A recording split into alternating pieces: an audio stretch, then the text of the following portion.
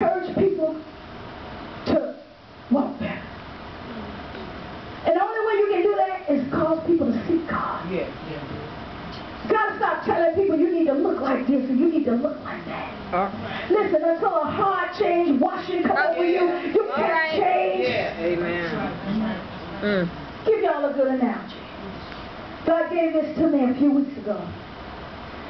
You know, I'm not familiar with all the surgeries, but I do know about lap band and maybe um, the other surgery. He said, when people have those surgeries, the surgery is done to help them lose weight. Am I correct? Mhm. But that is a physical procedure. But after the procedure, if that person does not change their minds, Mhm. that band and the other surgery will not work. That's right.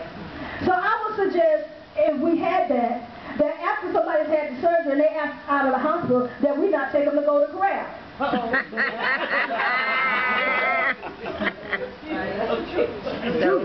True.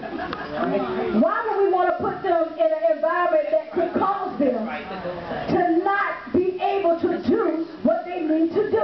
And this is why we need groups like Sisters Made of Clay where people can come and it needs to be a safe environment. Amen. Amen.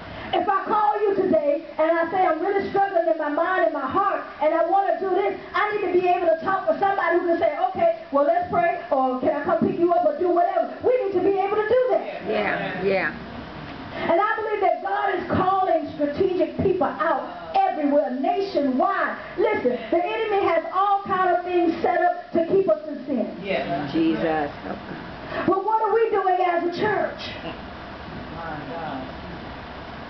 You know what I've been thinking about doing, Sister Gwen? I've been thinking about getting me a flyer that says, I welcome homosexuals. I'm going to be kicked out from the rest of the folk, but that's all right. How many of y'all sick of the familiar? Yeah. Yeah.